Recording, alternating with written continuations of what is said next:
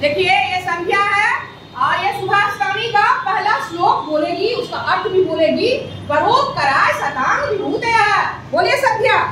परोपकाराय शतांग विभूत हाँ इसका अर्थ बोलिए। संपत्ति दूसरों की दूसरों के उपकार के लिए होती है। गुड चलिए तालियाँ। अच्छा अच्छा, दूसरा श्लोक क्या है?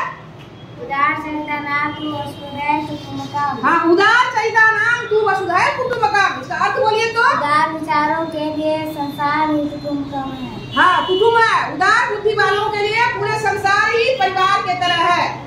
और ये आपके है? हाँ बोलिए। हाँ। विद्या।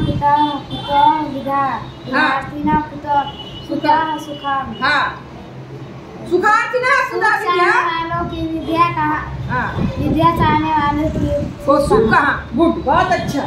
चले तालियाँ सुखार्थी ना सुधा विद्या विद्यार्थी ना सुधा सुखम सुख चाहने वालों के लिए विद्या कहाँ और विद्या चाहने वालों के लिए सुख कहा। और कोई और याद है? और संध्या को याद है? चलिए और दो बोलो। संध्या? चौथा वाला क्या था? सत्य प्रिय सत्यम प्रियात प्रियांग प्रियात बोलिए वहाँ से बोलिए तो। सत्यम बोलो प्रियम बोलो असत्यम हाँ, सत्यम प्रियात प्रियांग प्रियात प्रियम सत्य मत बोलो हाँ आप प्रिया सत्य बोलो। सत्यम प्रिया प्रियांग प्रियात बोलिए ठीक है ना प्रिया सत्यम प्रियम है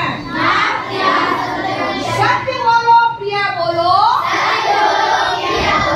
प्रिया सत्य मत बोलो। बहुत बढ़िया। और याद किए हैं? चलिए, और दूसरे बच्चे आइए। तालियाँ।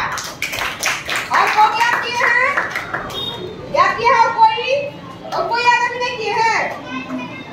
कोई बात नहीं। चलिए देखिए यहाँ पर क्या